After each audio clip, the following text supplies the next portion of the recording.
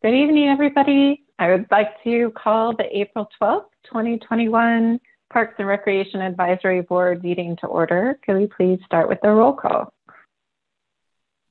Sue Olberg. Here. Scott Conlin. Here. Jeff Ellenbogen. Here. Paige Lewis. Here. Nicholas Novello. Here. Dan Olson. Here. And Council Liaison Aaron Rodriguez and Board Member Manoj Gangwar let us know that they will be absent this evening.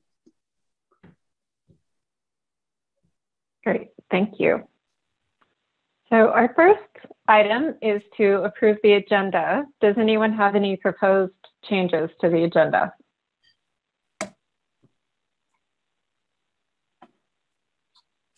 If not, can I get a motion and a second to approve? I move that we approve the agenda as written. Thanks, Sue. I second That's- that. Okay. Sorry. Great. Go ahead. Jeff Scott should second? second. No, Scott wanted a second. But whatever, it doesn't, I'll second. All those in favor, signify with your hand, please. Aye. Aye, great. Okay, so next we'll move to approval of the last meeting's minutes. Does anyone have any changes to the minutes?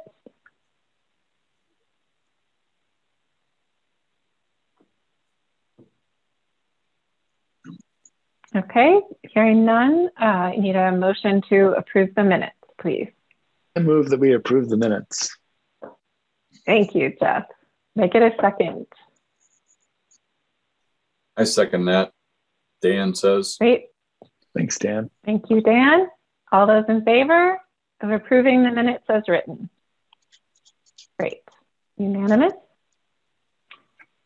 Okay. Um, we haven't heard that there are any community members that have asked to speak, but now is our pu- public invited to be heard section. So if there are any community members who would like to speak during this portion of the meeting um, and have reached out to the secretary, they will be unmuted one at a time and asked to state their name and address for the record and will be informed that they have three minutes for comment. So we'll just take one minute to wait unless um, Nicola has heard of anyone that wants to speak. I have not received any notification of anyone who wishes to speak. Okay, we'll just take a, let's wait one minute. I'll set a timer. And if we don't hear from anyone, we'll go on to old business.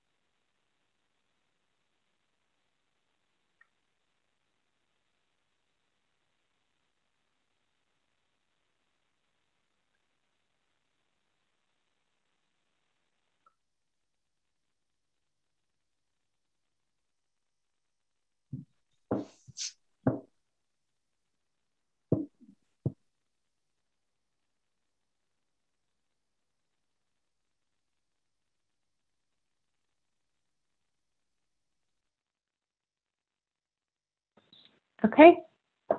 Still no word from anyone? No word from anyone. All right. Thank you. Thanks everyone for taking that pause. Okay. So with that, we'll move on to old business. And hopefully you all saw from Nicola the um, CIP, Capital Improvement Project list. And so we wanted to take some time just to follow up on our previous discussion um, about capital improvement projects. And what I'd like to do is have David Bell give us a few context setting comments, and then um, I'd like to just do a round robin of board members and hear if you have two or three projects from this list um, or anything else you'd like to mention in terms of what you think is a priority and why. So David, if you could just start us, start us off, that would be great. Sure thing, Paige. Thank you. And since you give me the floor, I'm going to go tangential for just a moment. Uh, I also hope that all of you saw um, the message about the volunteer appreciation for the month of April, um, that the, the council members made that official volunteer month in April for the city of Longmont. And as an organization, we really depend on, on volunteers. I think a lot of times we think about people that are cleaning up creeks and planting trees and um, doing things out in our park, but um, this board and others like it just do a great job for the city, giving up the evenings, doing a lot of reading, putting a lot of effort into um, trying to make our parks and open space natural areas a, a great place, um, which is kind of a nice transition into this next topic, which is the CIP project. I, I, know as people give up their evenings, they come here with some agendas, as, and those those are great agendas, trying to bring forward um, areas of interest in the community they represent. Sometimes they feel a little frustrated when you start looking at CIP processes, and it feels like a little bit like a rubber stamp because it's already been done by the time you guys get to the process. And I'm going to ask Steve and Dan to jump in here a little bit if I get this wrong. But being here five years, I've kind of seen it now go through a five year cycle where um, Steve and Dan are working on projects that were out there five years ago and beyond because the way we approve our, our CIP process is we really are approving a five year budget through council, but it's only one year that really gets funded. So when we get that one year done, the next year we really roll up those following years. A lot of times, though, because of things like COVIDs or budgets, the previous year's projects don't get done. Therefore, we're still in the role of, of this. So as as um, board members come on and looking for ways they can bring new ideas into the process, it can I, I think feel frustrated. There's not more opportunity to engage. So the city's been talking about this, and our deputy city manager and assistant city managers have looked at the way that we can start doing a better job of trying to gauge um, not only the, the boards, but also the community on our CIP projects, because I, I do feel like sometimes it feels like this is much more of an inform than an engage, and we'd like to get that point. So I think tonight as we go through this process, so it doesn't just feel that um, we're asking you just to go through a, an exercise. I think one of the things that staff definitely take away is, are we at least in alignment with, with some of these projects being so old? Does this still look like the way we should be moving? Are these projects that people want to see? And if it's not, um, again, I think Steve's open invitation um, for you know anything out there you want to hear would be great. Knowing that just because we hear it doesn't mean we can squeeze into the process.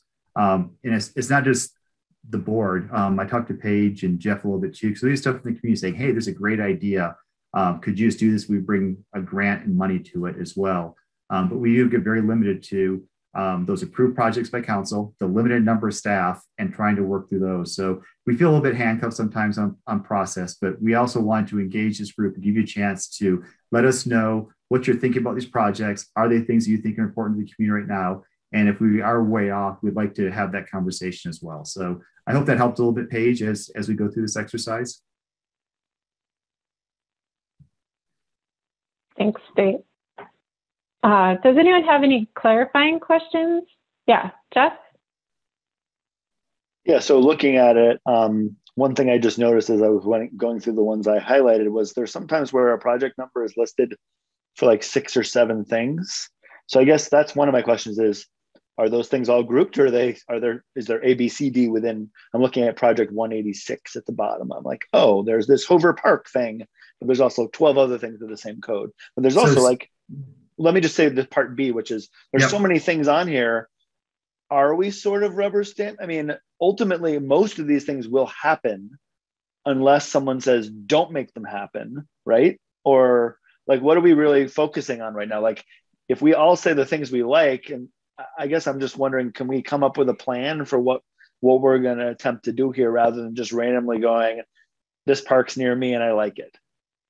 You know, that is a challenge. So that, and I guess I'll answer that part B is coming up with a plan. And that's what, you know, um, Paige I talked to for the meeting, Paige and Jeff and I talked this too. And I think as I talked to city leadership, what is the plan for trying to get this information and use in a way that um, we can make sure that we're reflecting current values as long as ones that were, you know, if you look at the shortest span, which I know these projects have been there more than five years, if we're just rolling forward those five years, is that still in alignment with what we're looking at doing? So for us as staff, for me, this really helps to hear are we at least going in the right direction?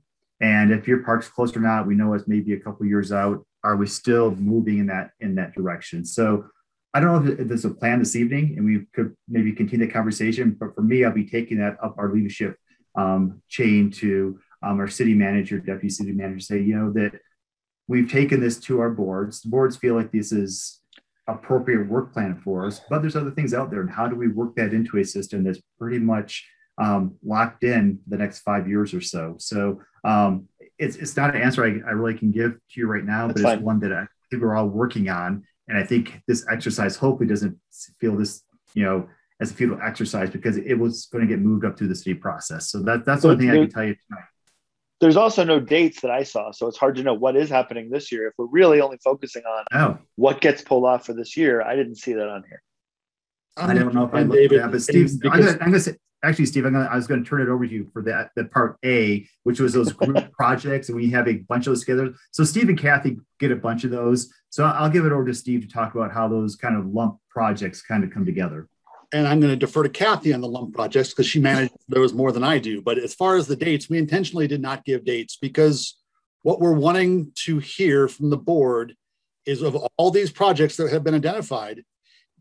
I wouldn't say it's a rubber stamp. Yes, will they get done, but will they get done in two years or 20 years? That's a big difference. I, I get complaints from people who said, I moved in next to a park site and I want I thought my kid would get to play there. I'm not kids in college now. And so it really is trying to prioritize the, the funds that we have available and the resources we have available to develop these sites and figure out what are the most important for the board throughout the community. And before I turn it over to Kathy, the other thing I wanted to say is that there are a wide variety of goals that the city has and um, a lot of funding opportunities that we have. Uh, there were some questions from board members about you know, having some sort of a fake budget or figure out how to compare projects to projects. It's really impossible to do that. What we, we need to know is what the priorities are, and then we'll figure out a way to fund them. We have five or six or seven different funding opportunities for each project. And each fund has restrictions as far as what they can and cannot be used for. And so what we really want to hear are what are the most important projects, and we'll figure out the best way to prioritize different funding opportunities that we have for each project. But we're, we're really trying to find out what the priorities are. Kathy, do you want to add to that and maybe speak to the, the grouping of the projects?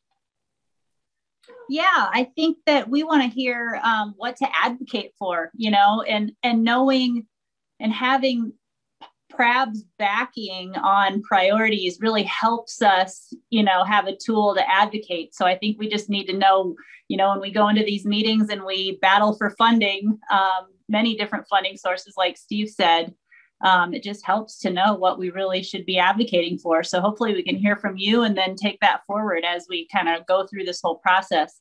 Um, but yeah, just real quick um, on the example you gave about PRO 186, um, that CIP is is called um, Park Infrastructure Repair and Replacement. So that's really the park renewal program. So that CIP is sort of a program um, and then we're able, so I, I have, it's not just one project. Then we identify the park renewal projects within that CIP. So it becomes many projects. So I kind of listed them out so that you could advocate for certain park renewal projects um, that you see more pressing um, rather than just say, hey, I support park renewal. we wanted you to see that, that, there are many projects within that. Yeah, and I would just add that the same is indicative on that spreadsheet as far as PRO 083, missing primary greenways and secondary greenways. There are some projects that are in the new additions, and there are some projects in the the um, what do we call them, Kathy? I can't remember. I don't have the. I only have one screen. Um, sorry, in the enhancement and restoration projects. So that project is appropriate for funding both types of projects. What we want to hear from the board is should we put our resources and funds that we have available to us toward new construction within that project or towards enhance, enhancement or restoration within that project. So it's it's really they're all good projects there's not a bad one on here. It's just a matter of trying to prioritize the ones that are the most appropriate. Thanks, Thanks for, for that. that. Oh yeah, Dan. Dan Wolford. And certainly can appreciate what Kathy and Steve are saying. You know, good example of this. And, and Jeff, your comment about all these are going to get built.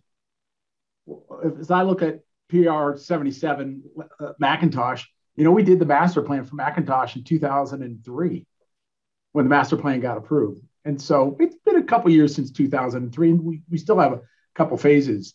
So uh, again, um, the St. Vrain Greenway, um, the, the, master plan was adopted in 2000, Steve, or somewhere in that general area, and we're still working on, you know, phase 13. So really, like Kathy and, and Steve and David said, we're, what we really want to know is what your priorities are, so that we can plug them in and advocate for them.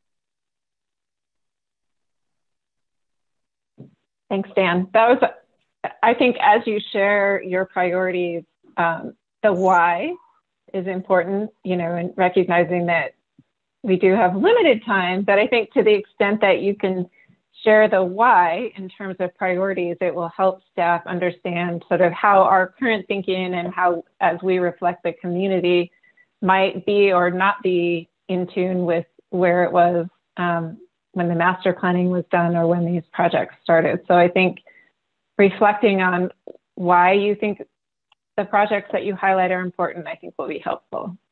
Scott? Um, Did you have a comment?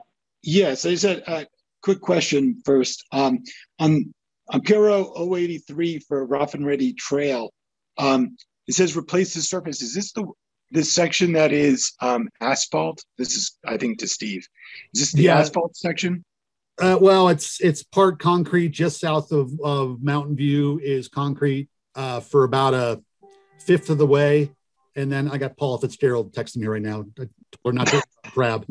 Um, and uh, and then the, the the other four fifths is asphalt. None of that meets any sort of AASHTO requirements. All of the surfacing is falling apart. But yes, that's the section between Mountain View and Pace. Okay, thank you.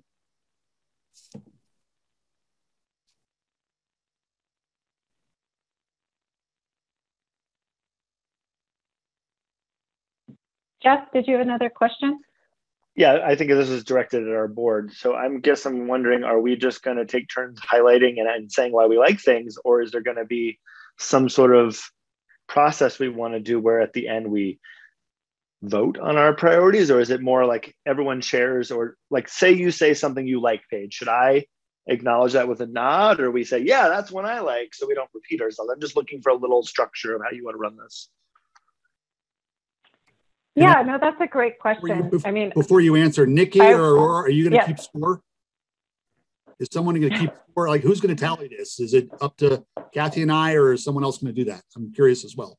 Steve, I have been asked as the board secretary to do the tally. And I, I might suggest, I mean, I don't know if we'll be timely for this particular process, but what I had in mind is that we could share our thinking on this one and kind of see where everybody's at, see if there are commonalities between our priorities.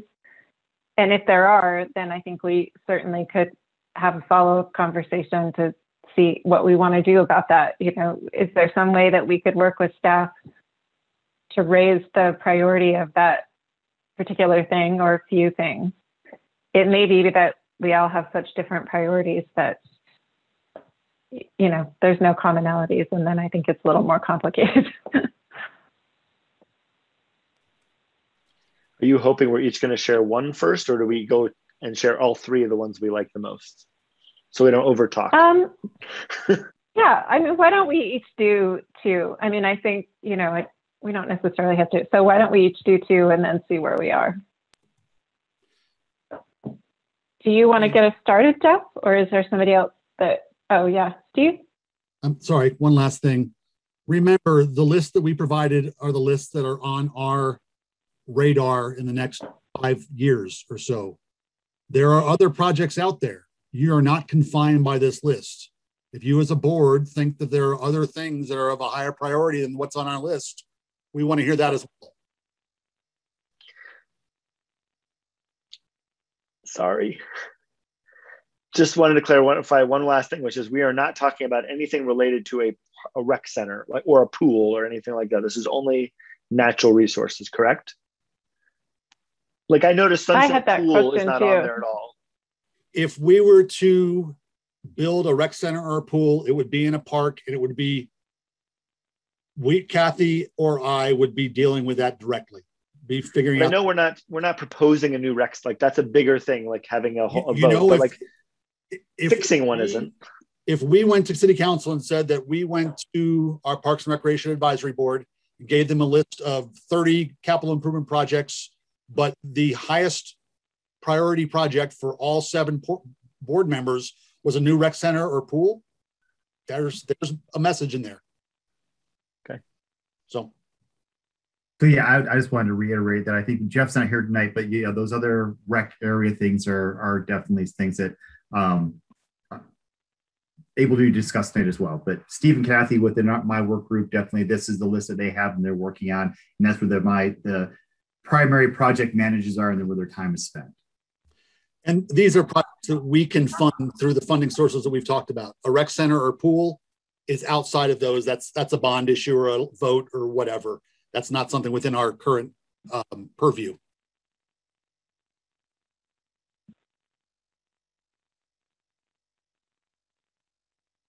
Are we ready?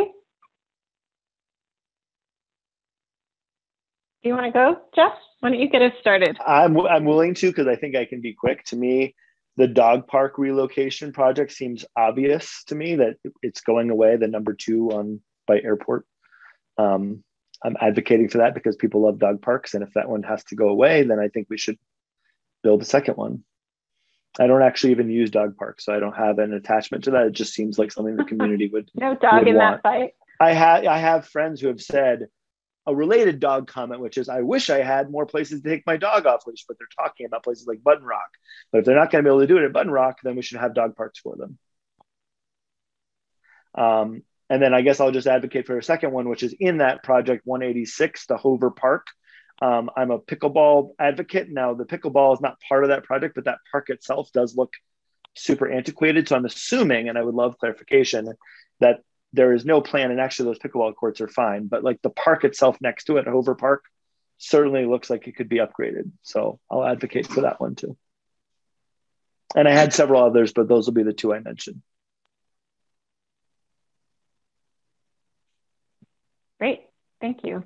Do you have anything particular about well Hover Park? I guess you you said your why in know- terms of the condition, right? It just it looks like it was a park. I, I'm guessing it was like 2000, and I actually don't really know how old parks are. Like I'm not good at that at all. But to me, as someone who has a young baby, as you've all seen, I took my daughter there once. There's something she could use, and you know I, I'll go back. I like that park, but it does feel old to me.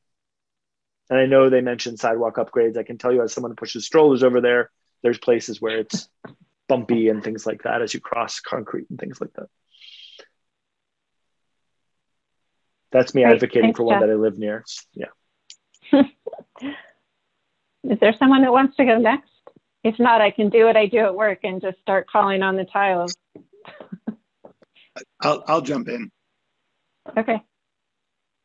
Um, so, so Jeff, um, I think it's kind of funny you had the dog park as the top one because my my first question was going to be after last month's meeting. Um, it sounded like they were deferring it because facility maintenance and facilities doesn't need the space. So I was going to ask if we actually push that one off because it sounds like dog park number two isn't going anywhere anytime soon. So instead of being a pick, it was like basically the opposite of a pick of saying maybe this shouldn't even be on the list if we don't actually need it. But that would be a that's more of a staff question. Um, so my for my picks, um, I, I think that the number one um, for me is uh, is the the drainage project. It's listed as a drainage project. Uh, DRN 028 Spring Gulch number two Greenway Phase Three. That's a, a mouthful, but um, Phase Two was so fan is so fantastic. Getting to Union Res, and Sandstone is fantastic, but there's not a great way to connect the two. And um, on the bicycle Longmont perspective, we've already heard from at least 50 people who have said, "How do I get from here to there? How do I, how do we make that happen?"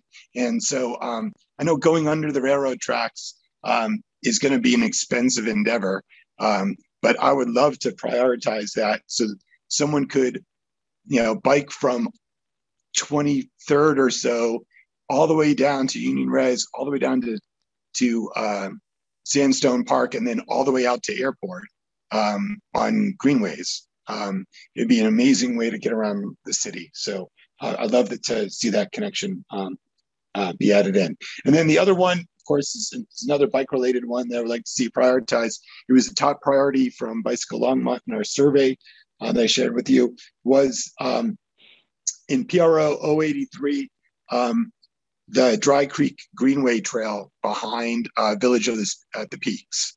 Um, is a way for cyclists uh, and pedestrians to be able to connect from Hover to the new bikeway of Sunset, um, and then eventually to St. Vrain Greenway. Um, but I think that that um, that trail should be uh, connected right there.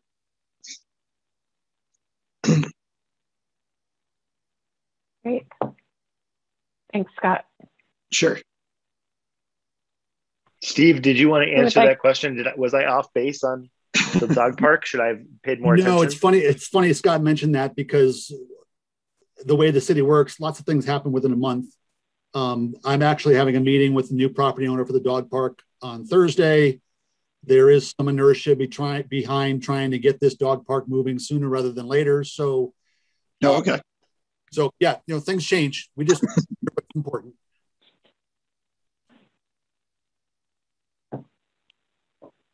Okay. Who would like to go next? Nicholas? Thanks. Uh, I'll I'll go next. I have two and then a second. Uh, so the first one that I want to add is Puro 077, which is the McIntosh Lake Nature Area Redesign and Construction. Um, I'm specifically interested in the phase five part of the plan, where there's the new introdu- introduction of the new trailhead. I think that might address the problem with the cars parked along Lakeshore Drive, and you know that bothers homeowners there. So one question I do have on that is how many kind of you know new parking spots can we really make available on that new trailhead?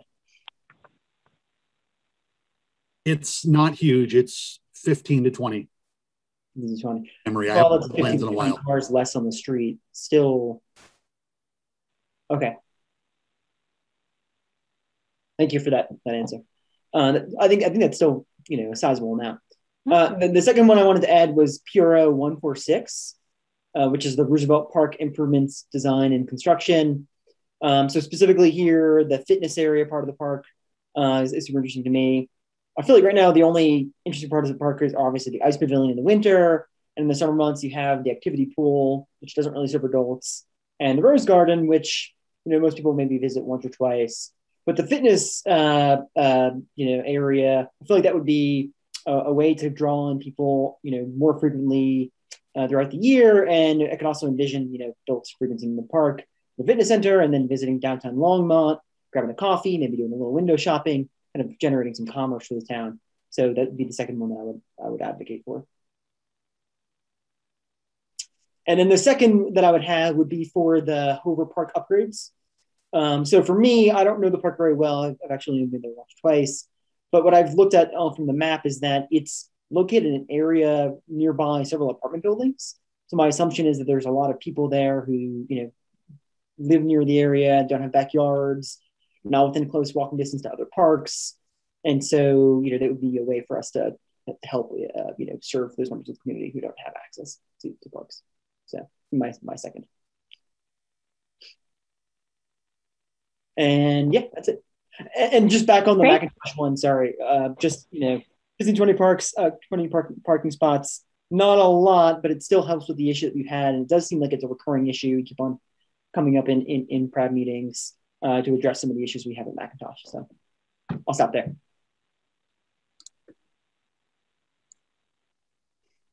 Jeff, do you have a question? I just don't want to move on before we talk about ones that people brought up. So on the Roosevelt Park one, can we clarify the little part where it says removal of the open storage, comma? I'm not looking at it right now. It says something about the ice pavilion. Can you clarify what are all three of those being removed? Like, what's that really mean? Yeah, I can clarify. And I tried to, um, I, I don't want to sit here and reread it, but um, that CIP project for Roosevelt Park we could fund different portions of it. So if what I'm hearing is support for the outdoor fitness area, that portion could be funded in that CIP. But I also wanted to point out that there's a phase of that master plan that is not complete yet. So we could fund that. Um, and that's removal of that outdoor storage area, expansion of the parking. Um, I think there's a monument that was never built on the corner. So there's just some loose ends that haven't been completed um, and hasn't risen to a, a, priority above everything else yet, but it is still hanging out there. Um, but you know what I heard was support for more on the outdoor fitness side of it, so that's what we could focus on in that CIP if that's the more the priority. Thanks.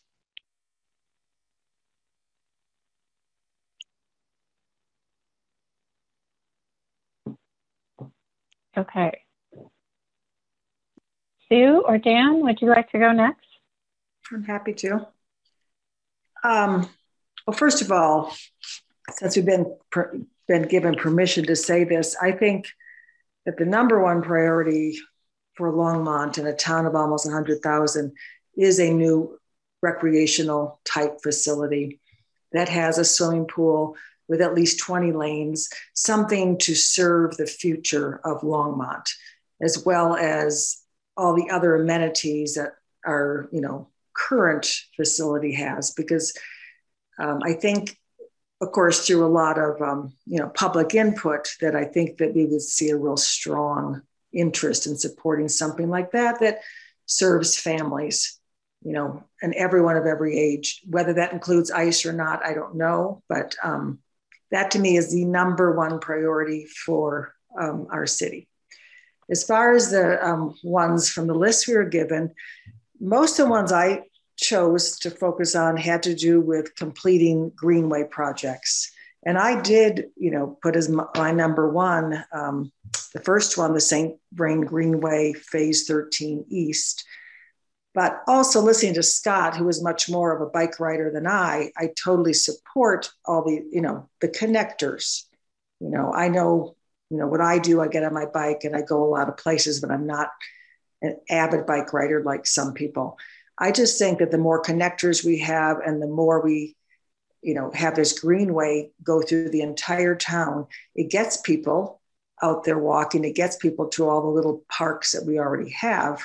Um, so to me, those were my um, number one priorities, um, and including the Union Reservoir upgrades that because uh, the greenway will reach the reservoir area. And uh, I think they really need some bathrooms and changing rooms and all of that, which I couldn't tell if that was already funded or if that was part of this.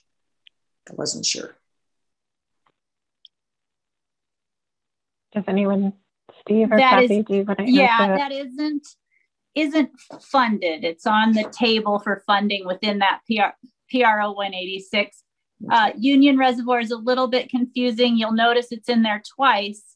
PRO 10 is for um, new for the master plan improvement. So if we were to implement the new master plan for Union Reservoir, um, that would be in PRO 10, as well as the trail that that we're planning. And, and the trail is funded in PRO 10. Um, but we keep PR, we keep um, looking at Union Reservoir upgrades in PRO 186 because we realize we need to keep the existing facilities out there usable um, in the meantime while it gets so much use. So there's kind of two funding sources there, but it sounds like you're you're looking at those upgrades. So if we don't implement the master plan in the next five to ten years, we need to we need to keep those facilities um, usable in the meantime. So I hope that makes sense.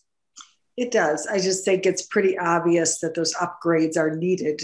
You know, obviously they need to keep what they have, but um, from what I understand, and I don't go there very often myself, but it's a huge need to have those facilities, especially with, you know, to also accommodate those with disabilities.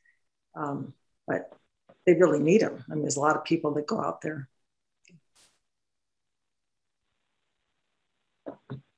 Paige, can I just ask a question? Mm-hmm. Um, yeah. Um, so Sue brought up um, St. Vrain uh, Greenway Phase 13. Steve, I thought that was already funded, or because it's tied to state money, or is that not true? Uh, it's funded for design. Uh, we're showing con- funding for construction currently in 2022 and 2023. Um, we could walk away from the state funding if it's not a priority. We're not obligated to spend it. Okay, that would be that'd be a horrible thing to do. That'd be like a well, right, right. But but you know what we're trying to do is test that we have limited resources and limited funding. Yes, I would agree that that would be tough to walk away from 1.5 million that we've already been awarded, but that is feasible if the board felt that that was important to do. Okay, so I misunderstood. So you're saying all of the funding was already there. This is no. just no.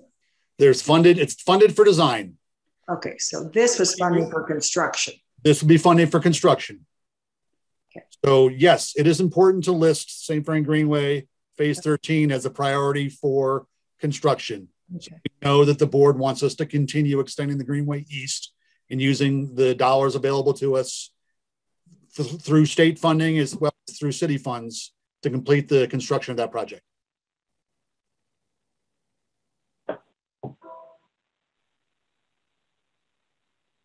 Okay. Dan, do you want to go?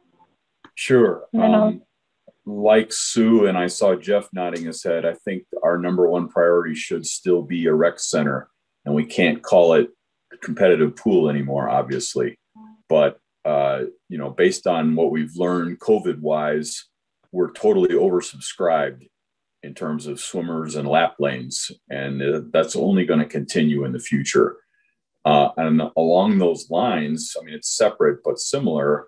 The whole Dry Creek Park thing, I mean, we got kind of messed up because of the whole groundwater business, but that could or should have been a large park, something like Sandstone on the west side of town that never really happened, hasn't happened yet.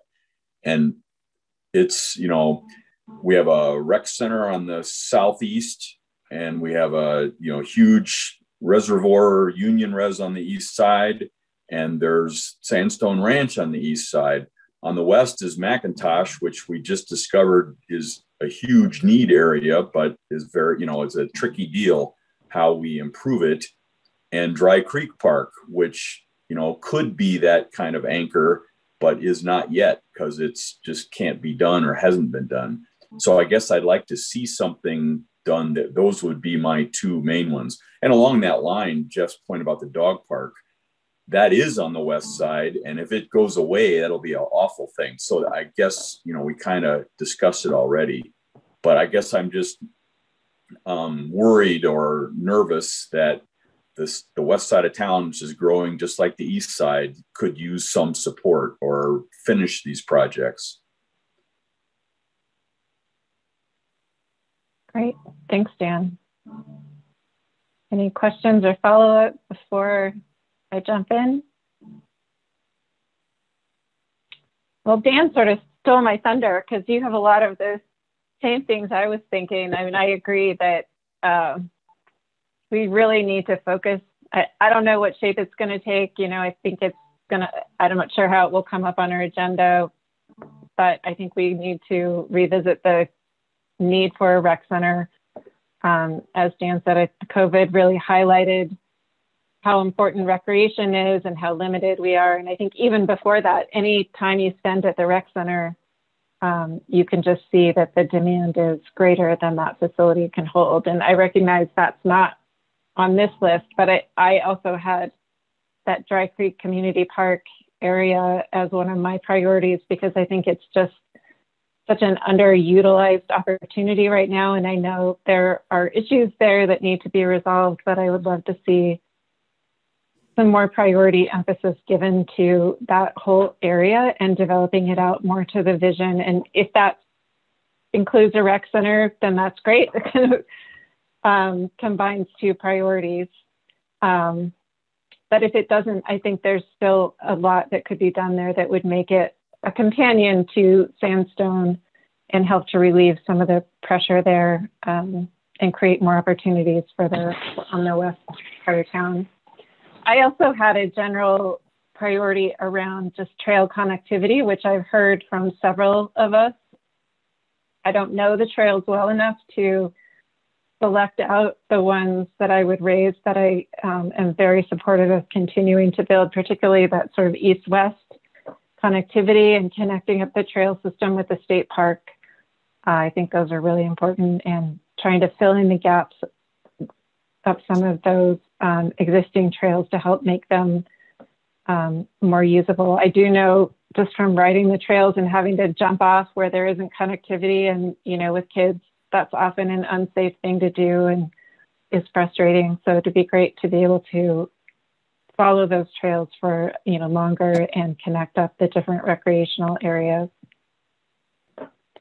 So I did, I mean, in terms of your initial question, Jeff, I did hear, I think several of us were interested in different aspects of trail connect and greenway connectivity. So I don't that maybe there's that's a follow-up conversation for us as a board just to understand um, the status of that, where all these pieces fit together, you know, how how we might prioritize. And I think Scott, you have a good sense of that um, from the bicycle Longmont, but um, maybe we could even carry that into our field trip discussion. Maybe we need to go on a bike ride and explore the Greenway connectivity. And I think also the rec center obviously is still a priority for many of us. So that probably is a future conversation also with council. Um, I also heard, you know, Hover Park and sort of attention to resources in communities that might be lacking, underserved communities, you know, making sure that we're prioritizing having, I think it's, not, maybe it's Trust for Public Land that has the park a, a 10 minute walk away. Everyone should have a park at least 10 minute walk away. And um, I don't know what Longmont status is with regard to that. If there are neighborhoods that don't have that. So, um, I, you know, I would be interested in following up on some of these topics if board members are. And I guess I would look to David, Steve, Kathy, if this feedback is helpful to you? How, you know, is there a way for us to capture it that would be more helpful? You know, yeah, Steve. Oh. Go ahead, David. David, or.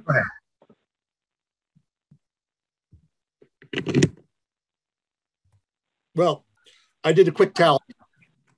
We had two mentions of the dog park, two mentions of Hover Park, not counting Paige's, two mentions of the Spring Gulch 2 Trail from Union Reservoir to Sandstone, one mention from the Dry Creek, Dry Creek Trail from uh, Village at the Peaks to Sunset, one for Lake McIntosh, one for the Roosevelt Fitness Center, three for a rec center, two for the St. Vrain Greenway Eastern Extension out to St. Uh, yeah, St. Vrain State Park, one for the Union upgrades through PR 186, which is the existing infrastructure, and then two for completion of Dry Creek Community Park. So yeah, there's there's a lot there where you kind of look at that. I think there's it feels very individual, but I think Paige kind of grouped things in a way, Steve, that I think a lot of that could be lumped into trail extensions. Um, that includes, I think, as Sue was talking about how how that does go through Union. Uh, I think some of those renewal pieces, I think hitting those, I think for us, for me especially, knowing that we have lots of renewals, looking at which ones kind of float to the top. Um, and I would not say they're out of line with what we're hearing from the bigger community. So um, I don't know. I'll, I will let Steve, Kathy, and Dan weigh because what I really did here is I think a little bit of a, even though this is not maybe as engaged as we want, I, I what I heard are projects I know are on our radar. They're pretty close to the top of what we're trying to do right now. Um, there was no real wild cards. I think the piece with Jeff not being here, the the the pool and rec center is something that I think is out of my scope of how we kind of move that forward. Um, but that's the pieces Steve mentioned that um, those, those the pieces how we reprioritize, look at are we in the right track, how can we kind of group some of these or look at how we leverage resources. So I think that was a great conversation. But how do we move that next piece? It really isn't part of this. It doesn't have funding or doesn't have ways to do it with the the rec center and, and the pool will be another piece. But I thought it was a good conversation. I would say all those those that score you kept, Steve, it's it's what I have here as well.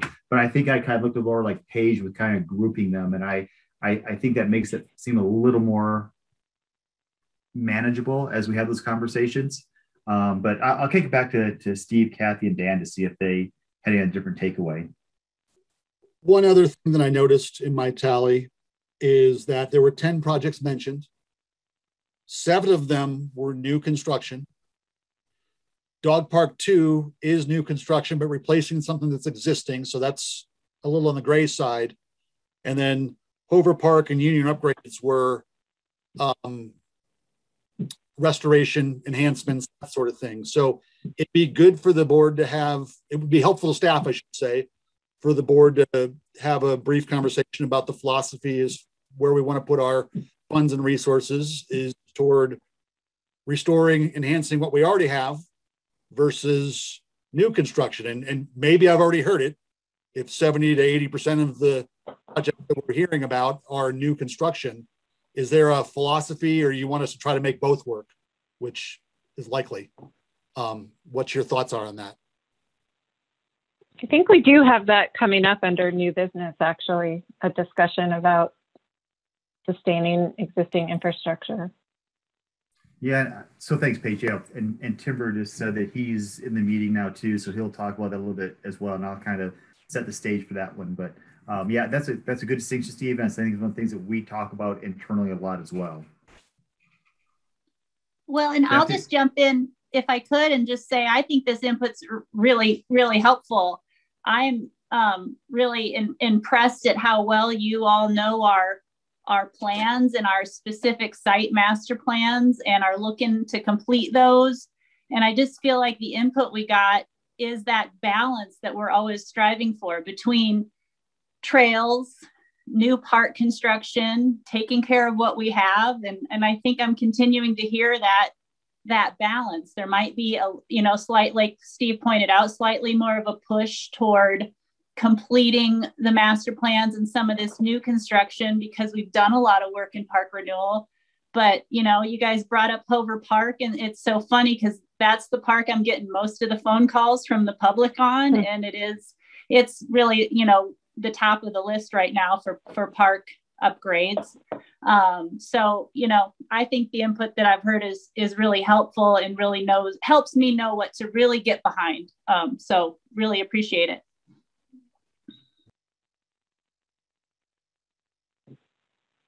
Great. Dan Wolford, did you want to add anything? I think I just have to ditto, you know, exactly what Kathy said. Sounds like we've got a balance of new and renovations and trail connections, and it's the same story we've heard year after year. So before we close this out from the board members, I mean, I, for one, would like to propose that we have more conversation about trails and trail connectivity.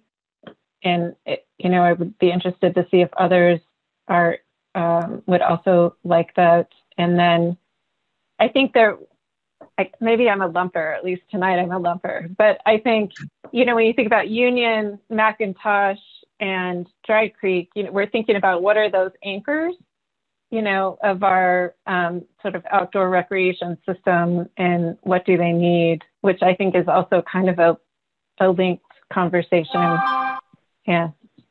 So, you know, that might be another future topic for us to.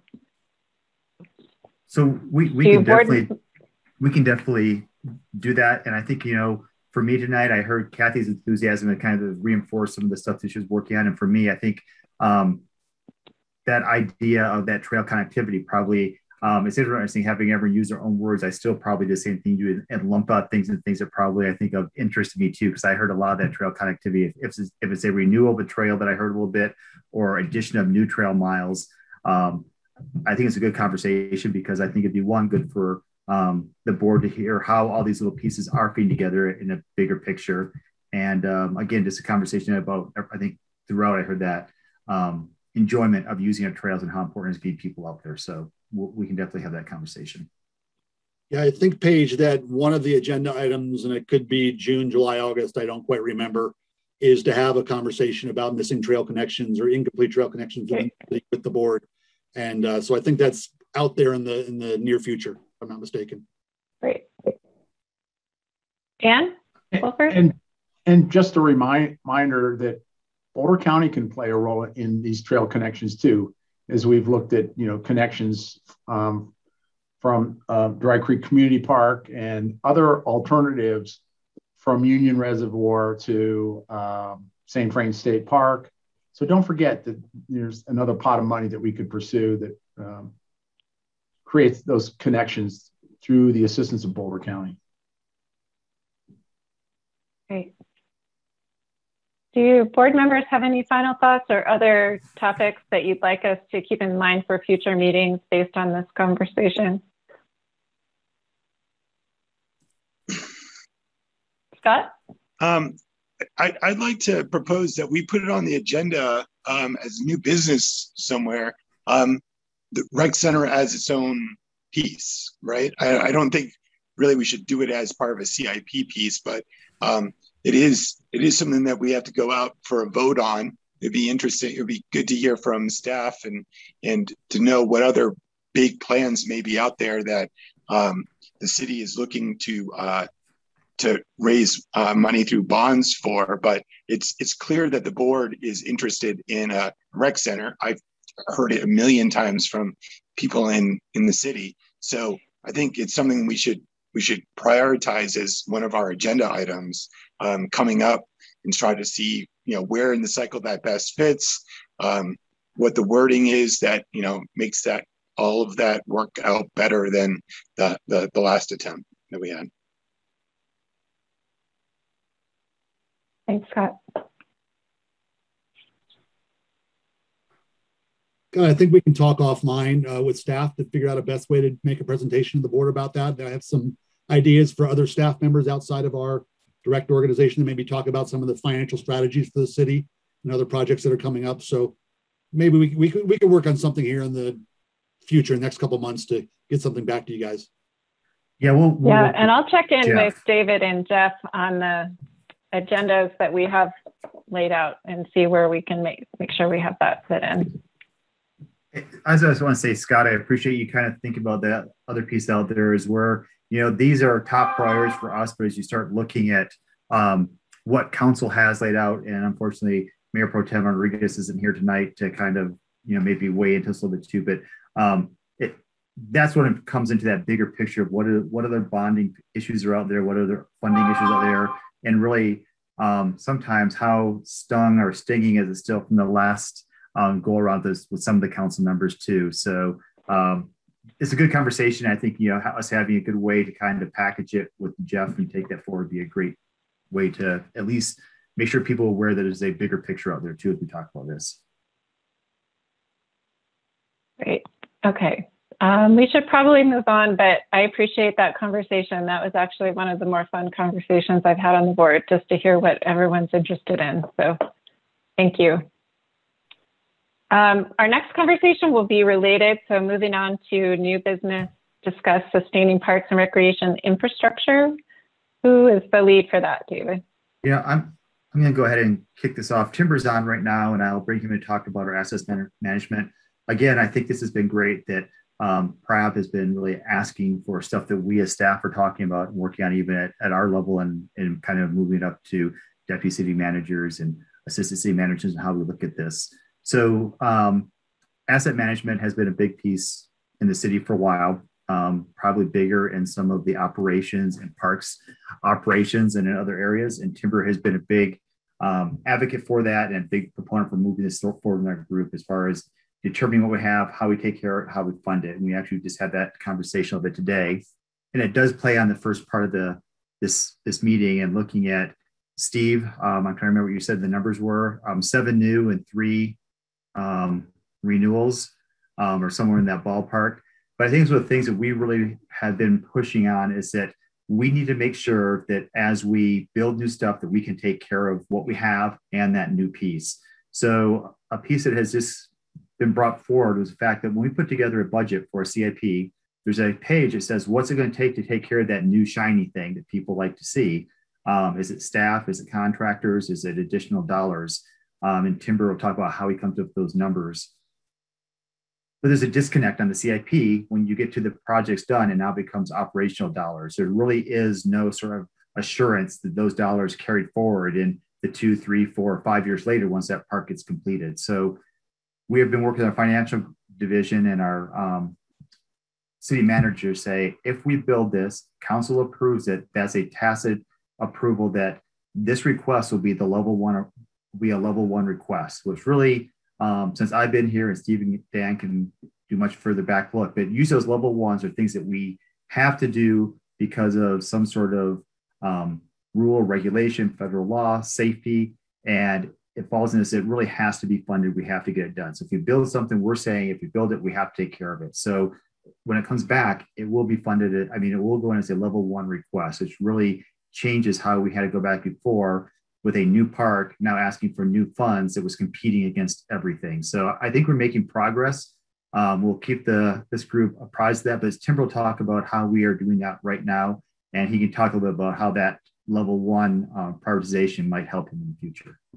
Timber, is that fair setup? Sure, that's a lot. Thanks, David. um, yeah, so asset life cycle and renewal.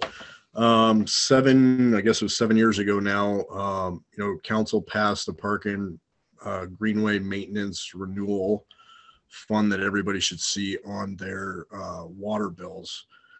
Um, and that was after an assessment during the master planning process of looking at all of our assets across the city and where they were at in renewals. A lot of things were failing. Um, so what we did is we developed a pretty robust asset renewal program that looked at all of the assets across the city of when they were built. And then we took all that information, and we put it into our work management system, which now we can run reports on to say, hey, you know, Hover Park, for an example, if you ran the asset, you know, it, Hover Park was actually built in 1990. So, you know, it is now 31 years old. So it's coming up as it needs renewal. So um, as you're reviewing those CIPs too, one thing to keep in mind is that PRO 186 is is dedicated strictly to renewal. So the projects that are being identified in there are actually coming out of the asset renewal program. So the projects that are in there are either assets that are close to failing or have I don't want to say failed, but they're going to fail within the next five years we're projecting. So when we run that report, we actually go out and we look at all of the assets that are showing up in the five-year plan and um, see if, hey, yep, look, these assets are actually going to be close to getting ready for renewal here in the next five years. Um, some of the other things that we've been doing is um, because we didn't really have a good renewal program um, if you can imagine a place like Loomiller Park, didn't have an asset renewal program. So when you look at that park, a lot of the assets are out of renewal phase. What I mean by that is, you know, a you may have to do lighting changes out every 15 years, but the building itself maybe only get, needs to get done every 30 years. Aligning 15 year projects and 30 year projects within that park so that there's kind of this constant renewal. What we've seen is um, we actually look at all the assets that are getting ready to fail and we realign them a little bit to create a kind of a cohesive project, which Kathy's been really good at.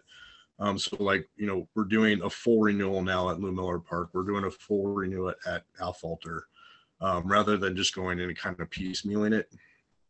Um, but looking forward to new parks, what we're trying to do, really not just parks, I'm talking right of ways, greenways, is that when that project manager identifies the project and kind of the scope of what's going to be in the project is during the CIP process they actually fill out the projected O&M costs.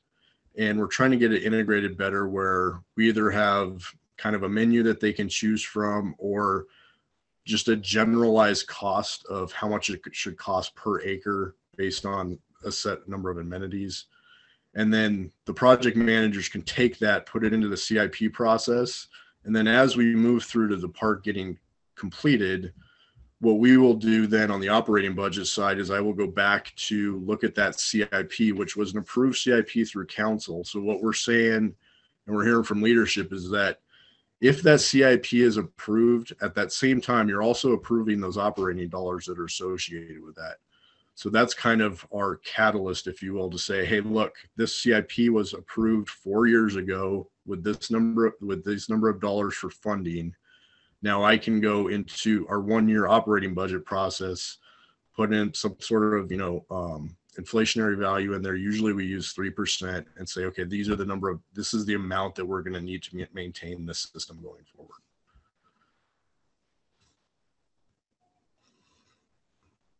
Um, I think that was everything. Is there any questions on that?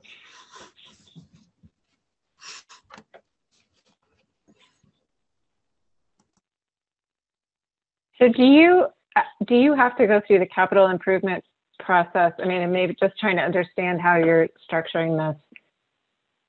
So you're trying to set it up so you don't necessarily have to go through the capital improvement process for every for this ongoing sort of maintenance and upgrades, or you still do? No, we still do. Yes. Well, um, yes. Anything for renewal, we try to go through the CIP process. So the way we do that now, though, is we actually re- report on what assets we're expecting to see fail within a five-year period, and then developing either projects. You know, that could just be we're going to renew all of Loomiller Park. Um, couple of years from now, we actually have a bunch of lighting that's going to fail at the same time. So then we will do a lighting renewal project at multiple locations throughout the city. But yes, that's all through the CIP process. And a lot of those projects, the renewal projects, don't really have an additional operating cost associated with it. Some things do, but for the most part, they don't. Really, what we're talking about is anything new coming online. We want to make sure that one, the sheets are complete that are associated with that CIP when that project manager puts it in for operating budget so that we can go back and ensure that that project actually has the funds available to maintain it once it's built.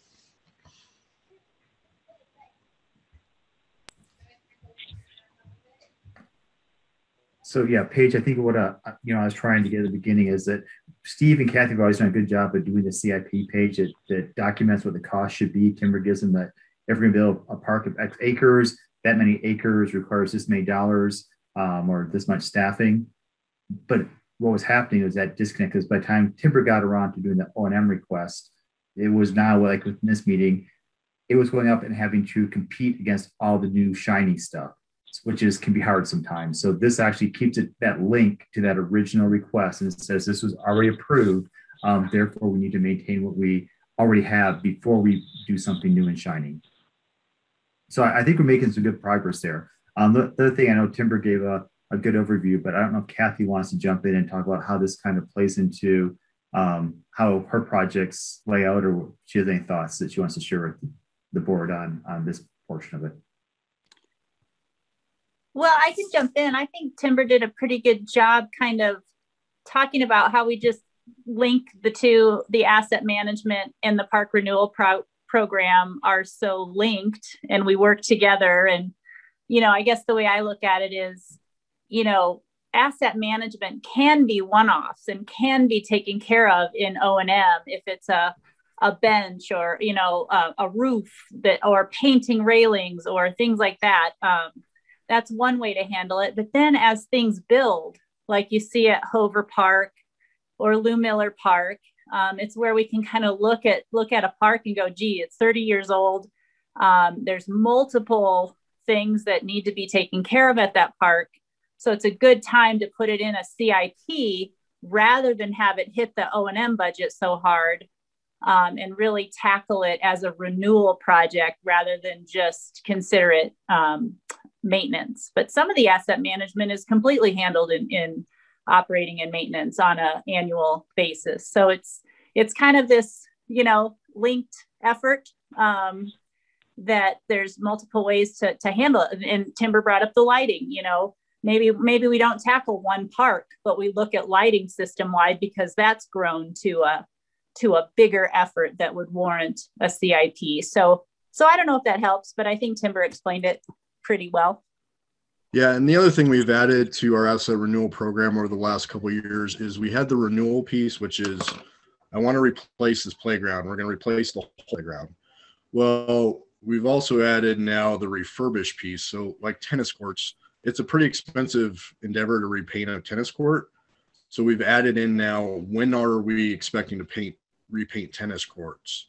And that we can fund through operating dollars as one-time requests, or we can fund it through Park and Greenway maintenance uh, requests, which comes from the $2 fee over the operating budget side. But then there are, we, we do have funding set aside for um, projects that just come up through the year, small painting projects, um, irrigation repairs, light, you know, light bulbs fail, irrigation heads break, um, all of that type of activity.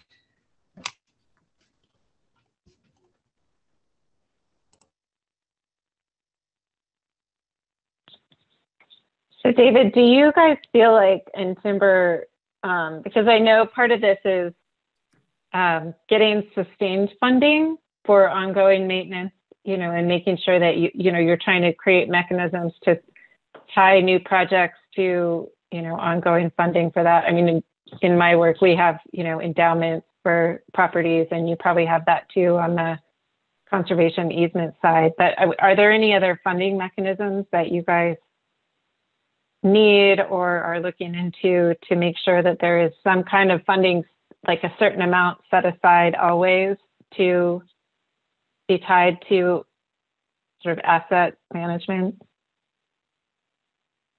Timber, you want to talk about? Because Timber is the one that really, again, I go back to Timber and Kathy, they worked on some of the original um, numbers to come up with how we fund these things. There's another piece though, because we are a bigger group than just our parks that Dan might want to talk about his open space program and more of that ongoing maintaining natural areas in perpetuity as well and how we fund that because that is a different funding source. But um, before I go to Dan, I'll let Timber jump in and see how he feels that we're doing with our ongoing um, budget, but our, our funding sources and if that's sufficient because we are going to be looking at here in the next year or so.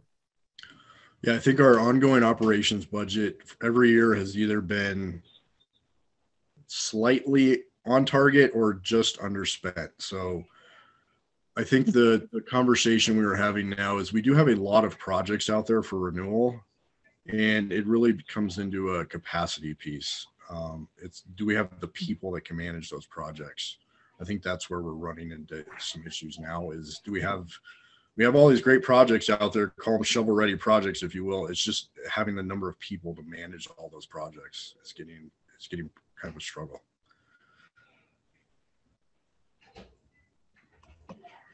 All right, thank you, Timber. Um, Paige, did you have another question on that one or Kathy? Mm -hmm. I was just going to see if anybody else had a question. Kathy, did you have something?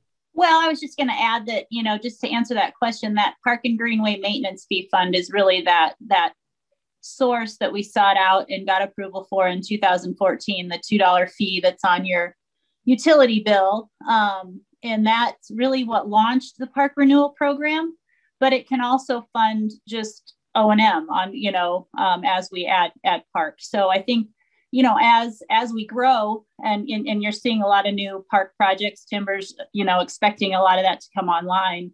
Um, we'll have to find that balance between CIP park renewal projects, um, which are really expensive. You know, if we're and and I think timbers always looking at and myself as well. You know, when we dive into something like Clark Centennial Park, which could be a renewal similar in nature to Garden Acres, which is a very big, expensive project um, we're, we're looking to use that fund, that Park and Greenway Maintenance Fund, and having the cash flow to do these park renewal projects, as well as find that balance of O&M for new parks coming online. Um, eventually, it's probably not going to be enough. Right now, it's enough because we haven't seen those parks, new parks come online, and we haven't had the staff to really, you know, roll out those projects. I've been doing a lot of projects, um, but also need to work on new. So, so I think um, time will tell if we if if that funding source is going to be sustainable or or not. Uh, you know, as we bring as we try to find that balance. One thing that's really interesting too is when you map out all the assets that we have in the system, um, the graph really follows kind of a wave pattern because we have, depending how long you've lived in Longmont, there has been waves of development that have come in. And with development, there's usually new parks that come online. So you have like this big bump around 90 through 2006 and there's this just this huge well all those assets were built at the same time so guess what they're kind of all going to fail at the same time too so finding a balance of when we spread those out to level out when we spend funding on renewal. And then you have big projects that happen like, you know, Kathy just did Garden Acres renewal, Clarkson Centennial renewal. Actually, during this this current CIP, Dry Creek Park is hitting its 20 year in 2026, which is currently in the five year CIP plan. So we have some things at Dry Creek Park that are scheduled for renewal already. Yeah, and just to be clear, you know that that fund is a supplement to the general fund. So Timber's budget is primarily general fund, and so this is a supplement. So um, whether or not it's sustainable depends on how the general fund is doing, and so that's kind of why it's it's always going to be a bit of an unknown.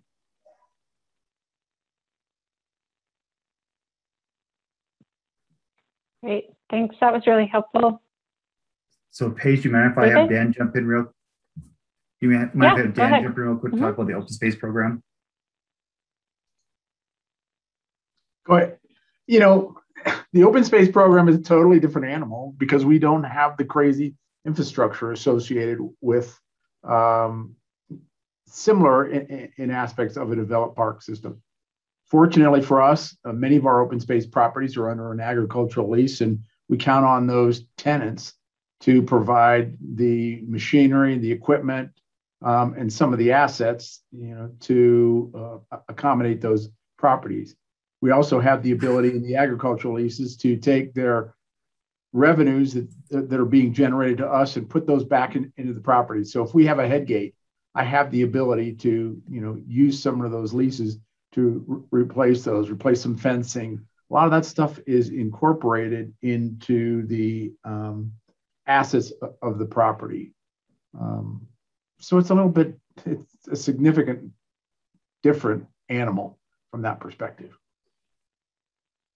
weed management and ongoing maintenance there, Dan, or how how do you feel? on Well, again, as we maintain, uh, again, as we grab properties, and it's not just open space properties, other properties that some of the utilities are using. You know, obviously, we have a responsibility to maintain the vegetation. So, as those new properties come on come online, we need the additional resources similar to timber, but not to the degree um, because again, from timber's perspective in the asset management, you know, we're talking about vegetative management, which is and weed control, which is you know from a fiscal perspective, significantly less.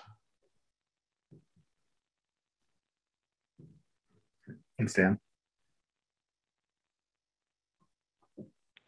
Great. Okay. Any anything else on this topic?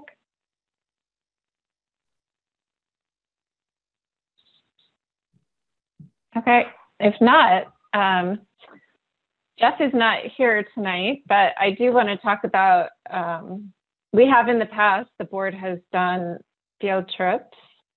I think we would like to try to do that if conditions allow this year. And so wanted to have at least a brief conversation about um, whether folks would be interested in pursuing that, uh, what time of the year, if there's a specific months or month that is best, and then what kinds of locations you might be interested in visiting, or if there's a theme that you would be interested in.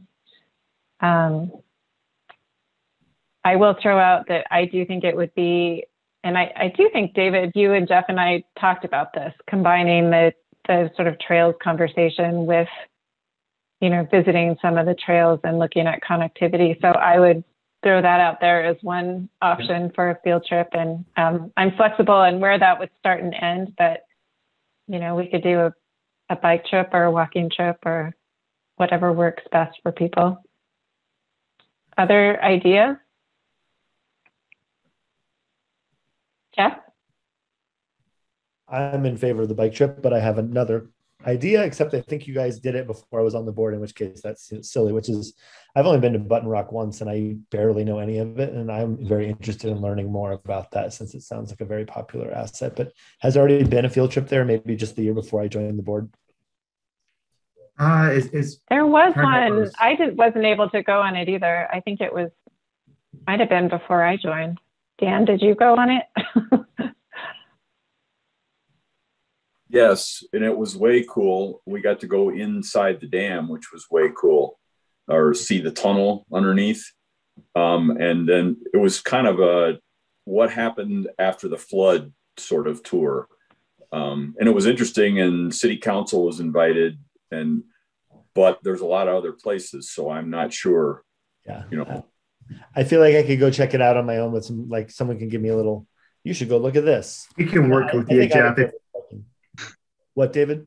We can work with you, Jeff, to make sure that our board members get a chance to see some of the stuff up there too. So um, if that's not the, the top priority, Button Rock is something we can work with our, our rangers and stuff to maybe make sure you get a chance to. We could check out the connectivity from a bike ride starting at Button Rock and then try to make it all the way to St. Vrain Park. We're working on that one. That's the right direction, downhill. well, I picked that for a reason. E-bikes. Okay, other other ideas? The button rock idea came to us from staff, as I recall. Is there anything now, David or Jeff? I guess Jeff's not here. I mean, is there something you guys like to show off? The whole, uh, you know, resilient St. Vrain. Is there a tour of all that, or I'm just throwing something out? I don't know. No, I think it's a great. I think it's a great um, kind of closing that loop because we did take um, and Council up there, and that's what really kind of pushed the Button Rock Master Plan. I think as people saw Jamie Friel as a ranger up there and what he was doing with the increased use, with all the dog use, Council really said you need to do something with this to help you know manage this property. So now Danielle's been working on the Button Rock Master Plan.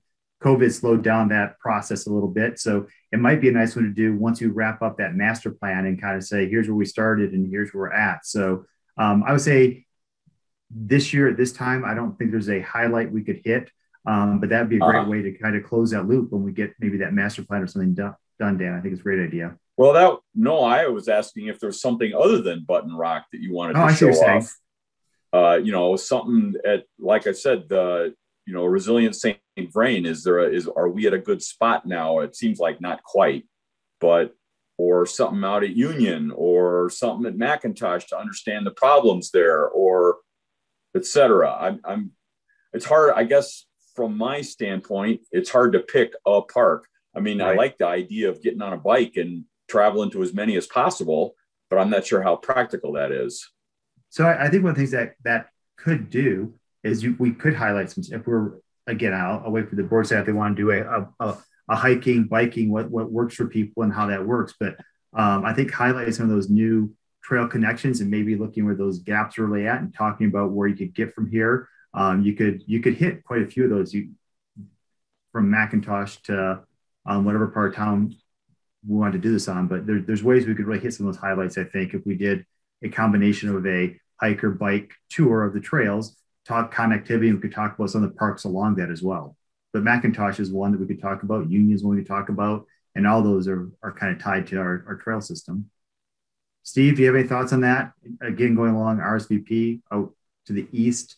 Um, we, looking at- we had also at some point talked about Dickens Farm Park, but I, you know, was thinking that that could be part of a trail. Part of focus. that trails. Yep, exactly. Tubing. So Steve. Tubing, right? Tubing. um, yeah, no, I'm not tubing. Um, yeah. yeah, so I guess it's really um, a, a desire of the board whether you would like to see something celebrate a completed project or view future projects or gaps in our, our, our system. And we could do both. Um, yeah. Doing a bike tour to view gaps in our trail system seems somewhat problematic because there's nothing to ride on because there's a gap there. Um, so that is uh, there, there's challenges with that. We can certainly do some stops around the city off of a, a van and, and, walk out and look at some different trail uh, gaps. Uh, I find gaps easily identified on uh, Google Earth or you know a big map, but I happen to know the city pretty well off of aerial. Um, so really, it, it I think it'd be great to go up and, and see Dickens and see RSVP and see all the work that we've been working on for the past seven, eight years. And that would be a, I could talk about that stuff for hours and hours. I'm, I'm still waiting to hear about our national APWA award application for Dickens. And I'm is good news, I suppose. I'm hoping to hear in the next couple weeks. So by May, hopefully we're celebrating that at the, the next PRAB meeting. But um, yeah, really, it's, it's just a strategy. Do you, do you want to see things that are uncompleted or do you want to see things that are completed and awesome? also like how much time do we have to dedicate for this and with covid are we really all riding in one van together and think like the biking thing is yeah. nice we can all be outside um, but i do think like you know a two hour thing i could do i can't do a right. five hour half day thing there's no way i think in a two hour thing i again we'll leave this we can kind of leave it maybe a little undecided here about if we have Paige wants to wrap this up on this one but um, I, I do think that ability to look at places like dickens and Steve, I think you know your ability to use Google Earth and kind of know where these are, but to talk about directionally from how do we from here to there um, doesn't mean you have to drive to that gap, but you start talking about those um, long-term planning visions that you might have as you kind of move, you know, through our system and look at celebrate some of those areas, be it the the Spring Gulch Trail. I, I could see that Dickens to Spring Dickens to almost Union could be something, and that we could do it get done in a couple hours and celebrate some new trails talk about the gaps and where these new trails will connect to once those other pieces tie in and do a little bit of celebrating. But I, there's a pretty safe route from Dickens to Stephen Day Park, even without the Spring Gulch Phase Three connection. If we were to use the trail on the north side of 119 over to the bike lanes and County Line Road down 26, and then using the new Spring Gulch Trail, so that would be a doable ride for a group of people this size right? And I'm thinking, Steve, on the along the way, we could talk about Costco, we could talk about Irwin Thomas, the gravel yeah. mining operations that impact open space and park properties. Swing our way up to you know Spring Gulch, talk about all the development around Union Reservoir and those opportunities. You know, on the way back, stop at left hand and have a cocktail while we're looking over at the new RSVP section. Uh, well, I was hoping the concierge would pick us up at Stephen Day, but we'll see. Well, we could do that too. But, you know, again, we can show you, you know, the original phase one of RSVP out at Sandstone and look at the wildlife and the craziness that's going on out there, um, you know, and how we've used root wads. There's a ton of stuff you, that we would love to show you. Again, it's, you know, there are certainly limitations on your days and the numbers of hours, but um, you know, if you let staff do it, we'll, we can camp out for the week. Sue? I have to say, I really like that idea. I like the idea of getting on bikes. I know that I have been on, you know, some really excellent field trips with the board. Um, they are so worthwhile just being, you know, right there experiencing it. So what you've all just sort of described, this last connection, I think would be really um, a worthwhile trip to do. I think it'd be really good. And and I don't know, like I went and took a peek behind um, left hand, that area that's closed off, that part of the bike path. I know that's that's not so much the city project, that's more the field of it. I mean, whatever, I'm not sure. Well, it's a city project. It's, it's a city project being funded by by Corps of Army Engineers. But yeah, it's, it's a city project. The work that, that portion's not being, no. That's not a core project. Yeah, that's a city project. Oh, that is, okay, but that's That is really, city. that was really interesting. I kind of snuck behind the lines. I'm sorry to say. And um, I'd love to have more explanation because it was fascinating.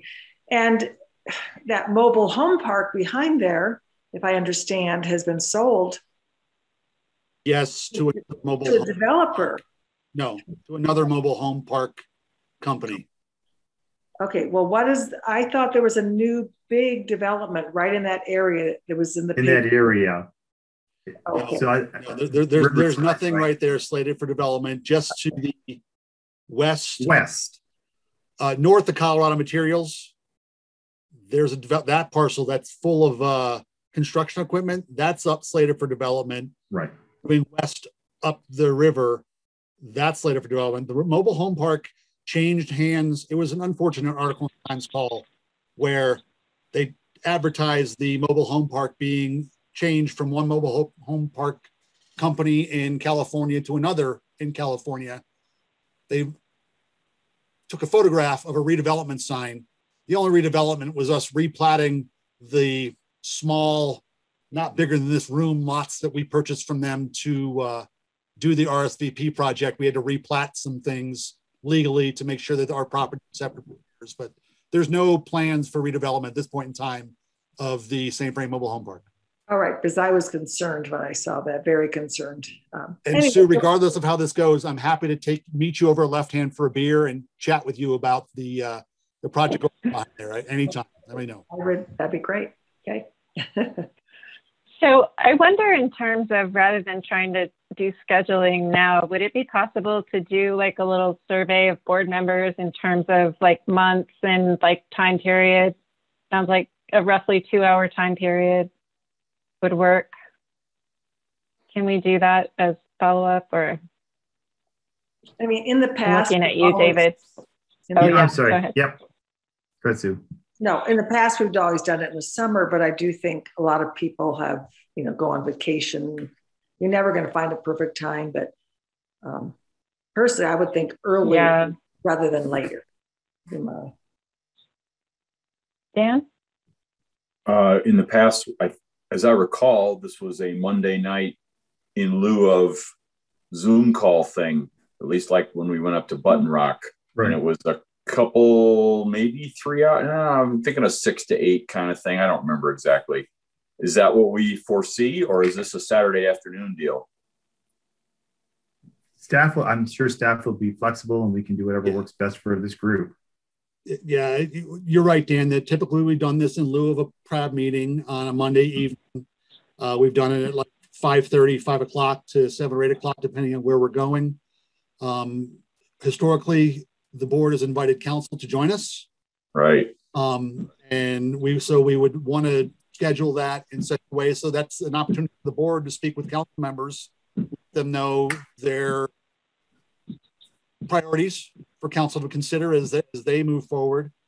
Um, and we can certainly figure out a way for folks to cycle when they want to cycle, folks to drive if they don't want to cycle, to make sure that we're meeting at strategic gathering points and trying to have those conversations.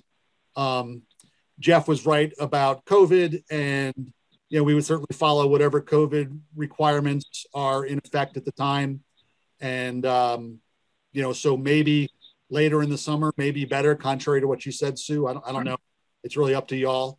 But um, it's yes, you're right. Well, I was wondering, like maybe July or September, because I feel like August is always tricky, but I don't know. So, So maybe we could.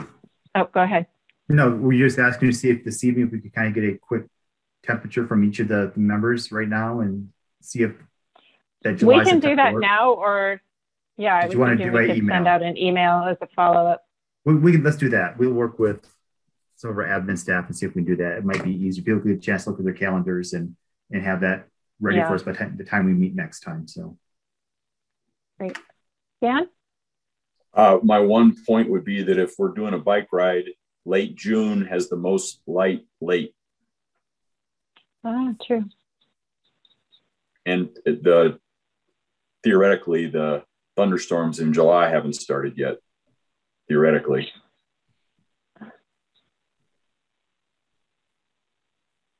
Okay, well, let's plan to come back to the next meeting with um, a proposed date and general itinerary, if that's okay with you, David. And yeah, we can do that. I'm sure we can use either um, Survey Monkey or some sort of email piece with sort of that June, July, Yeah. August, September, um, Saturday or weekday and see what works, works best for people. and I'm happy to follow up with you to help Okay. think through the questions if you if that's helpful. Okay, thanks everyone. So the next item is to discuss any questions that board members have from the materials that were in the packet.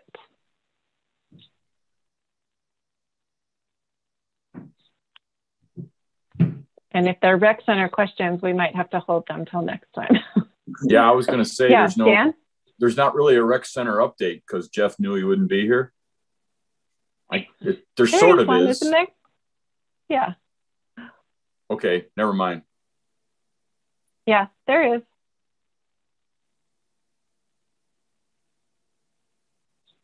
any questions from the packet materials?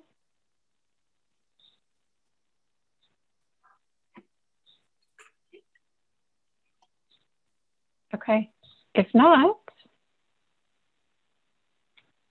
do we have any additional items from staff?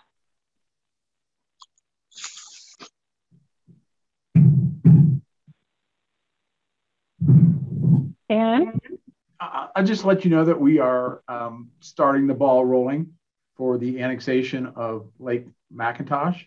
So David and I met with uh, um, Development Services and we're soliciting um, survey, uh, an annexation survey, and hopefully we will have that by Friday. Um, and it's anticipated that it'll take us approximately three months to go through that annexation process. That's it. Great, thanks. Yeah, I saw that in the news. Any other items from staff? None from me. Okay. Timber? Any items for, from the board? Anything else you'd like to bring up? Yeah, Dan? Um, I have two. The first one is I saw that City Council discussed Lake McIntosh amongst with you folks, David in particular, um, and Dan. Is there something we need to do or should be doing with in response to all that, or do you guys have a go forward plan you want to share? Or mean, I I heard I read in the paper, I guess mostly, you know, it's the same sort of thing you'd reported to us before more patrols, more signage. You know, we're hiring uh, additional rangers, etc. Is there anything you need from us or that we should be involved with? I appreciate that that question because I think one of the things that um, the reason we brought it to this group was again we know some of you live out there, some of you have friends out there, some of you use it, and always want to make sure we're doing kind of aligns with um, what the community is looking for. Um, so as you you kind of read through that and heard that, I, I think the big thing is if you, as you're working with your friends and neighbors and out there and seeing stuff that either is working well or not working, um, to let us know. But I would say exactly what you, you talked about. We're going to go through this season. We've already had the ability to hire on some additional rangers. Timber and Dan have done a great job with that. Um, done some additional training, which will also help. Um, we're going to be doing this year some temporary signs. Um, they're not going to be the, the the paper laminated, they'll be an aluminum temporary sign um, that will work on that. Dan's got the ability to get some grant dollars with uh, partners to do access areas so that people aren't having to tromp through vegetation potentially to get to launch their vessels. So we have a, a pretty robust plan, um, but we're going to need some additional dollars. We'll be putting in some more dollars to the 2022 budget. So this year, we're going to use those additionals to have some temporary signage, continue to monitor. PD is going to be working with us. Um, and I would say when we get together once a month, those of you that are out there and use it or hear things, please let us know. It's probably the biggest thing and provide feedback um, to your friends and neighbors using on what we're doing. That'd be great. Well, just FYI, uh, weekend, what, eight, nine days ago, Saturday, I lost count at 60 plus boats on a 25 boat maximum lake. And two days ago on Saturday, which was kind of a grim weather in the morning, there were already 25 boats. And so that's a impossible number right now. I mean, that that regulation is just isn't going to happen. So uh, I did talk to council about, about, that, and there was council members really want us. The challenge right now, and Dan can talk about it too, is that that is part of the adopted master plan. However, it was never we would have a we don't have a rule and reg that says there has to be 25, no more than 25 people on that body of water. So if someone out there they really could not at this point we could put a sign up or something but we don't have a rule and reg that addresses that at this point ah. so is it do we is 25 a number because it keeps people safe is it a number because it's consideration neighbors is it 25 for um, wildlife impact so i think if we can address safety out there if we can address noise if we can address those pieces um, maybe it's trying to manage the activity more than the numbers because we are going to be looking at putting in for a boat for out there in 2022 as well. It'd be hard for us right now to say who was the first person on, who was the 26th on, 26 you're off. You have to stand here and wait, but you know someone's putting their paddleboard in across the lake. So I, I think working um, to see I'll go back and look at council too, because there definitely was debate on do we need to have another regulation that staff can enforce, or is enforcement you have to be wearing a vest, you have to be wearing a life jacket or a flotation device. You have to stay out of the wildlife closures. If we can manage those pieces, is that is that easier than managing a number? I, am with you. I think that's smart because that number, I don't see it's just totally impractical, both well, in size and any number at all. Dan, again, that number was generated back in 2003. Right. And you understand that at that point in time, paddle boards were where? they didn't, you know, they really didn't exist. So, I mean, it's a brand new entity. You know, um, we're, I'm counting the days when the new buoys come in and the rangers and my staff can get those buoys out to, you know, demarc um, that uh, northwest shoreline as habitat to keep people out of there. Those are our priorities. Um, again, as David said, safety is an issue is clearly an issue, and it's things like PFDs on all these boats, and uh, a child under 13 of years of age must be wearing one. Um, you know, again, it's going to be a lot of education, and hopefully, um, you know, the Rangers are going to be out there in, uh, in, a, in a presence. Um, our Rangers um, those that are on anyhow from Button Rock and Union and these community rangers all just this past week just went through four significant days of training with the police department and our city attorneys and, and city prosecutors. So, um, you know, I what I heard from those rangers, it's the best training they've had, period, ever. And um, one of them has been here almost 16 years. So um, it, it's a great step forward. Well, and again, my main point is it's starting already. So yes. any nice day, you know, like we discussed last year, it's been discovered. Everybody knows a nice day. Hey, let's go to Lake Mac. You know, I mean, it's it's we're starting. Yeah, I, it, I was again. At, go ahead, Dan. I was just gonna say I was at uh, Golden Ponds um, Tuesday night. I thought I'd you know spend a couple hours just kind of dinking around with the fly rod, and this is at six o'clock at night and I was lucky to find a parking spot. so we, it's happening. It's there. Yeah. So that's what I was just going to say too. I think that this this group of rangers we have right now, I believe we we have six new rangers that we didn't have that last year, so it's going to be a big help. But those are the same rangers that will be at Golden Ponds. They'll be trying to keep kids from jumping off bridges at Dickens Park. They'll be out doing the new trail connections. So um, you're not going to see a ranger at McIntosh all the time. And I think that's as we kind of move forward and say, as we start looking at budget for 2022, do we need to have some dedicated people, some of these more these busier parks? So um, I think we're making inc- incremental change in that direction to address this, but uh, we're, we're going to know we still have some gaps this coming season. Yeah, and we will okay. start next week on Tuesday, Wednesday, Thursdays when you'll first start seeing the community rangers out actually doing patrols. And the other so element one... that David failed to mention, it's going to be a significant duty is contacting the homeless or those camping along the greenways. That's going to take a significant amount of time also.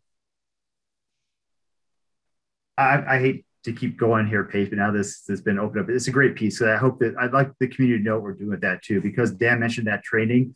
Um, a lot of those rangers come in with natural resource backgrounds and they're used to doing fishing violations or hoping to talk about people about the Abert squirrel up at um, Button Rock. Um, but managing homelessness and um, homeless camps in our community has become a big part of this.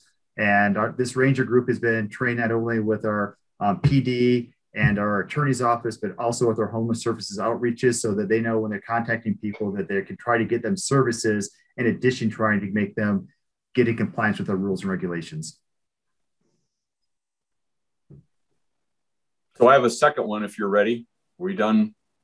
My other point was to ask again about uh, making the doors on tennis courts functional again as doors.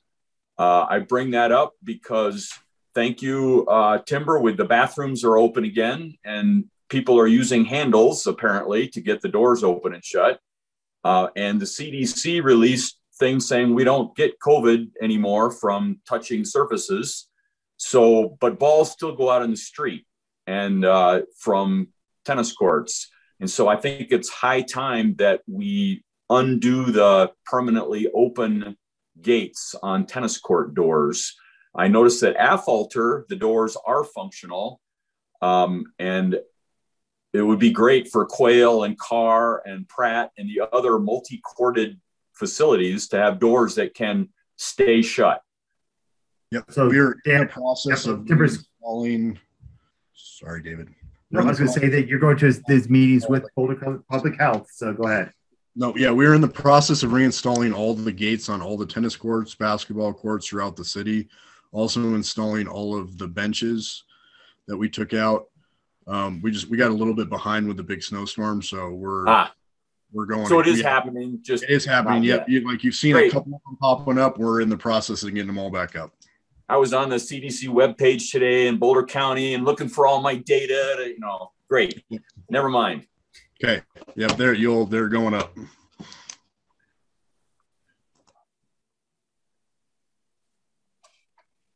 I'm done. Okay. Any other items from the board? Scott? Um, I have a question on the St. Vrain Greenway, um, south of Boston, east of uh, South Pratt Parkway.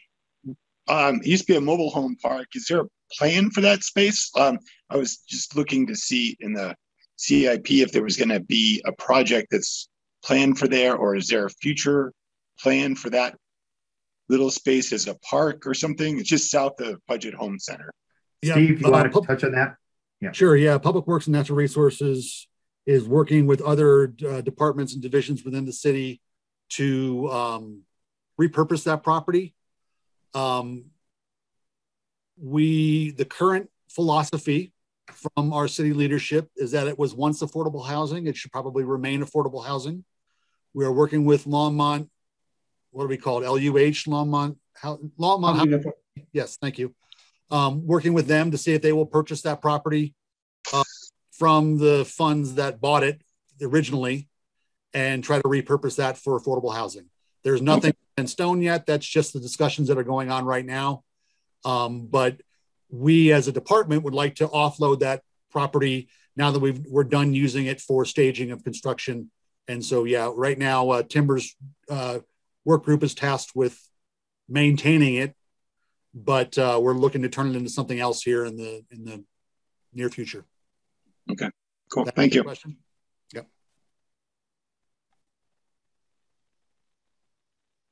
Sue, did you have something?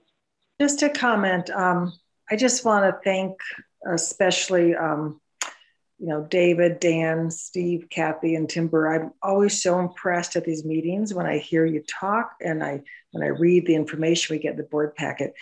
Um, I just think Longmont is outstanding and stellar when it comes to their parks and recreation. I just from other places I go and other people I talk to, um, I just want to thank you guys. I think you do a really incredible job, and I know you're short staffed and probably underpaid, but I was a teacher, so I understand that part. But uh, anyway, thank you. Well, thank you, Sue. Sue, thank you very much, Sue. And I just want to tell you that I couldn't agree with you more on the dedication of your staff. I don't think many people, one, know the extent of what they actually have. I don't know a lot of people know how much they have from Sandstone Ranch up to Button Rock and everything in between. But the staff you have here is great. And um, a lot of people offer my staff night, but just so you know, um, that continuity of staff, Steve and Dan both hit their 20 year anniversary with the city this year. So you got people that are um, committed and dedicated to this program. Thank you guys. Great. Thanks, Sue. Anything else? Okay, seeing nothing, uh, I would take a motion to adjourn.